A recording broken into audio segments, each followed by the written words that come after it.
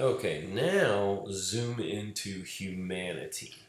And as you zoom into humanity, this is when hopefully you'll see sort of the um,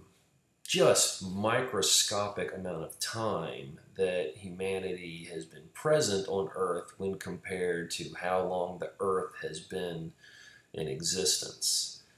and um, it hopefully will put things into a, uh, a new perspective for you